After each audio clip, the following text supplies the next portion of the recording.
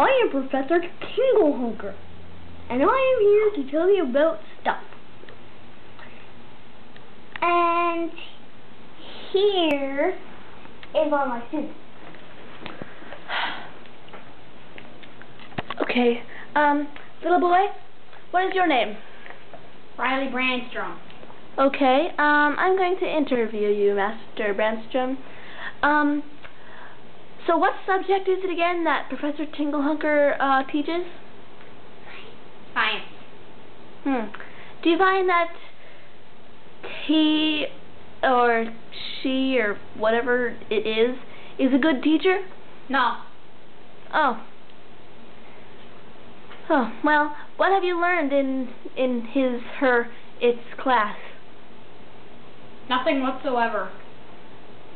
Cause you don't listen. I've seen you playing. Ha. See? You don't listen. See? See? See? See?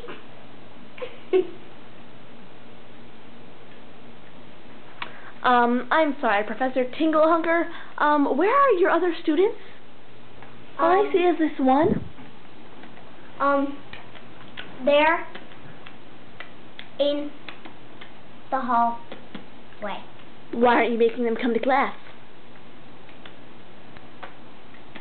Cause they're doing testing. Testing? In the halls. Yes. So they can talk amongst themselves and cheat? You know how kids these days are. No, there's a no. There's a teacher out there. Aren't you their teacher? Why aren't you teaching them? I have two teachers. I am sorry, Professor Tingelhunker. I don't find that your work is up to scratch. Your classroom is a mess. Your desk is utterly disgusting. You are ugly. and you let students throw their backpacks around the room and cheat off tests. This child be the, being the only exception. Maybe not. Okay, yeah, he's not even doing his test either. This backpack is not learning. You are not teaching. And none of these objects are educational. I am sorry, Professor Tingelhunker.